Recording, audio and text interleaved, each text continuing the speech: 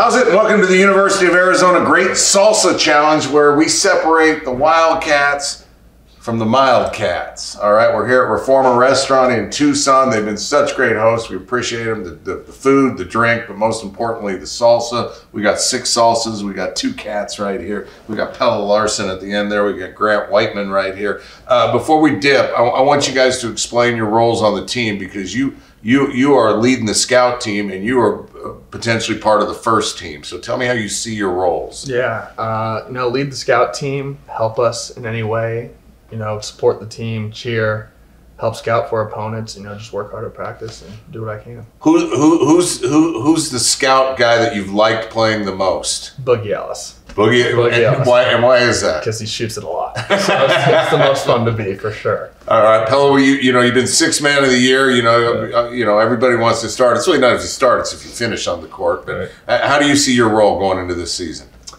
Uh, you know, apart from Grant and me, uh, I'm one of the guys that've been here the longest. So uh, I probably know the system pretty well by now. So just help the other guys understand it and then do my part as well. When you say system, what's that mean? Uh, just how you know Coach Tommy wants to play and uh, how how he wants to get up and down. So it's an adjustment for everyone coming into a new school or something like that. So Let it rip. let it rip. Yeah, let it dip. Okay, here we go with the chip. First one. All right, first one's right here. You can reach in here if you want, Grant.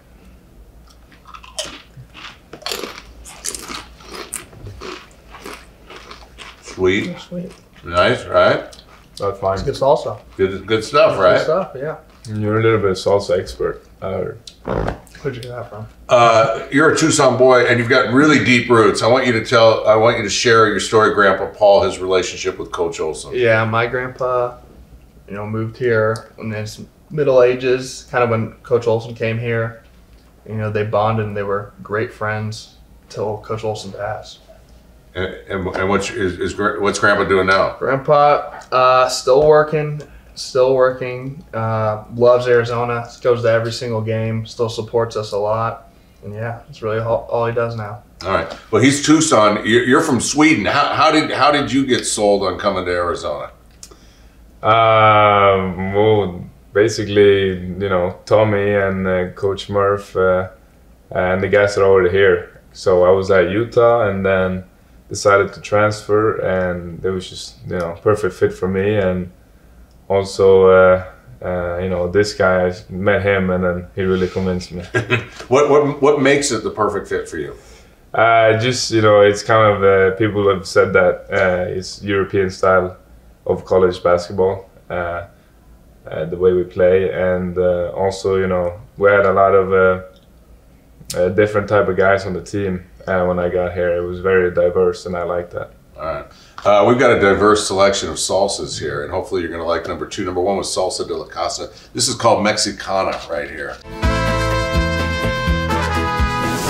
This is a really tasty. This is Coach's favorite. He brushed his teeth with this one when it was all over with.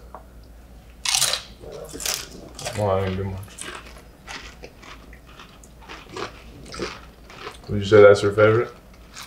I like it better than the first one. Yeah, Fair Yeah. enough. fresher. Um, let's talk about you guys' golf games. All right, because there's there. Uh, who's better? I'd say myself. Probably. you know, in the summer, I would say myself, now I'm taking a little bit of a break, you know. All right. I got more important things to focus on. So maybe Grant's been practicing behind the scenes, but For sure. Uh, for sure. you know, he's a long hitter. All right. Are you like the llama, the long hitter? I'm a long hitter. Short Yeah, game but- definitely needs some work. yeah, that's Not all for sure, you know. And what about you? What, what what's the strength of your game? Putting. Putting. Yeah. And are you are you two one two or or one one A the best two golfers on the team? Because I understand there's a couple other guys who can hit it. Luke is the first guy that comes to mind. Luke champion, but yeah he's an up and down player. yeah, Luke is better than Grant, for Okay. sure. But they those guys can fight, you know, for number two, and then we all know. All right. Luke drank milk off camera. He probably wishes I hadn't said that. Oh, Uh, let's see if you're going to need to drink milk before we get done here. It's not going to come after this next one, though. This next one is called Salsa Verde.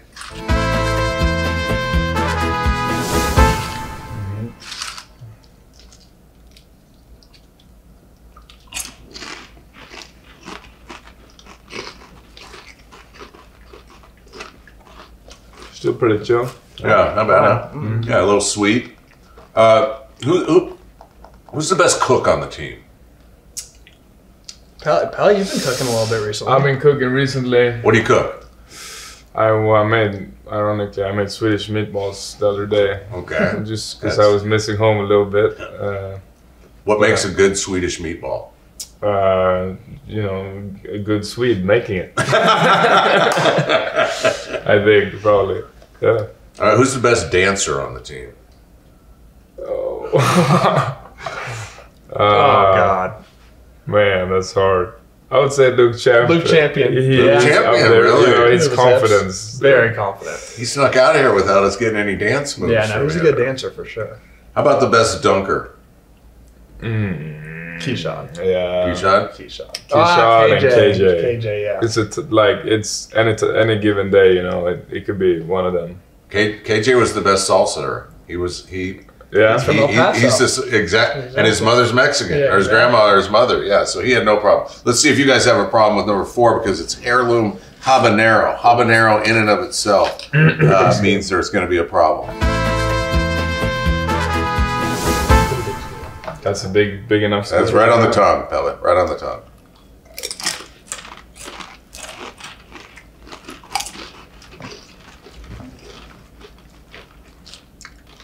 All right, for me now this starts to get a little spicy. That's a little side. Like I wouldn't have that at a restaurant. You would not. You would say, I would stick with Verde here. right? Well, we- we've got some good stuff ahead for you. Um, player, like who, who, who, who's your favorite NBA player, Uh, Jokic. and and what for? Or is that an obvious answer? Because he I does mean- everything well. Yeah, I mean he's the best right now. Uh, but I, I liked him like even a few years ago. He was my favorite because he just I don't know he just makes people look stupid. I feel like. Who's the greatest Swede to ever play basketball? Hmm. I'd say Jonas Jerebko or Jeffery Taylor. Both guys play in the NBA, so All right. one of those. Do you have a favorite NBA guy? Steph Curry, probably. Steph Curry. Yeah, it's the most fun to watch. And is that on the scout team? Can you can you fire? Is that, is that, is that reference Boogie Ellis? How you yeah, fire I from know, anywhere? Exactly. Yeah, I wish I could be Steph Curry on the scout team. How many brothers and sisters do each of you have? I have two younger sisters. Okay. I had an older brother. You have an older brother. Yeah. All right. Oh, brother, here we go. Uh, number five, Arbel. Just one name. It's like a soccer player, Arbel. All right. Go ahead. You gotta mix it a little bit. Are you good enough for you? Yeah, that's good. Yeah, that's good. A lot of the a lot of the fellas uh, uh, have talked about culture. What when when when that's when that talk when I say culture, what's that mean to you? Swag, playing hard. I think everyone getting along and doing their role. I think that's important. What Tommy says. You know, you can't be selfish. You have to play your role, box out. If your job's to play defense to get loose balls, and you have to do that to the best of your ability. Is swag a four letter word for confidence? Yes, basically. That's Tommy's word, swag. Yeah. All right. What about you, pal? What's culture mean to Yeah, you? I mean, I you know I think about the culture of Arizona. I mean, Mm-hmm. it's a great culture and a lot of history.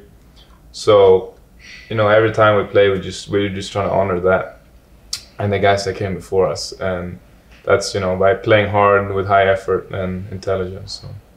How are we feeling? How's how's your mouth right now on a scale of uh, one to I- ten? thi- this one was harder than that one. Yeah, I agree. That one, I was. It's look looks dangerous. I was a little Right. bit let down. But Right. Right. You know where danger lurks. Number six. Number six. It's that time. This is called chin- chingana. Got a thing called a ghost pepper in it, Oh, brother. which you're, you're probably familiar with, Grant, Yeah, being, being a local here. I think it makes you. no, you take a scoop. I'll see how big your scoop. You gonna match me? Yeah, I'll match you. Oh lord. I have a bigger chip. Mm. Give it a second. It'll find you. It's not mild for sure. I tell you that much. oh boy. oh boy. It's fine. It's hot though. It's hot. It's hot. Is it getting hot in here? Yeah. It's You got- not enjoyable. You, you guys want to talk about your feelings right now, or should we talk about just the Arizona fans? I think Probably can talk about his feelings. Uh, Arizona fans. I mean, every and you don't have to you, you don't have to be from here. You can just be a, a college basketball fan. And when they talk about the the great fans, they talk about University of Arizona fans. What what's what's that fandom bring? Uh, how would you describe it to an alien? Hey, when you come to Arizona, you go to McKale. This is what you're going to see. Well, being from Tucson, I obviously grew up a fan when I was younger. And Tucson's a small, big city, and Arizona basketball is what everyone likes. So McKale's loud. Zona Zoo, I think, is the best student session in the nation. I think everyone lives and breathes Arizona basketball here. So the city, you know, supports us.